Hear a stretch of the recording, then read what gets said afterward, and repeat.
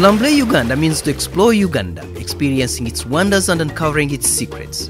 In every corner of Uganda is a gem waiting to be discovered, and you could be key to unlocking it. Why do I love Uganda? Three very important reasons. One, it's a very colorful place.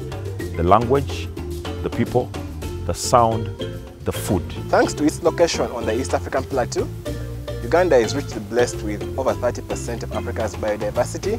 Let me tell you, Uganda has so many birds, you'd be surprised. You'd be surprised. I know not so many Ugandans even know that we have the healthiest arena of birds, but we've got so many birds in this country. If you took a boat cruise on the Nile for even just half an hour, you'd see hundreds of birds. Anybody from around the world who is a birder would come here and they would be shocked. So, birding, big deal for me. We all live somewhere in this beautiful pearl of Africa and hold a significant amount of knowledge about the attractions in our homes.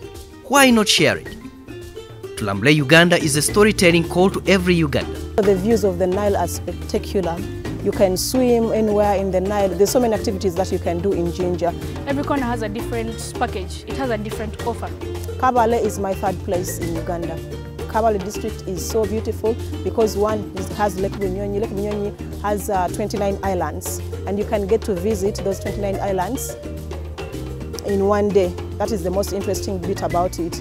It is an opportunity for you and me to share all the juicy details about the fun things we have done while traveling in Uganda and offering useful tips to enable others enjoy the same experience. To be able to get the best of Uganda, you would need at least three weeks.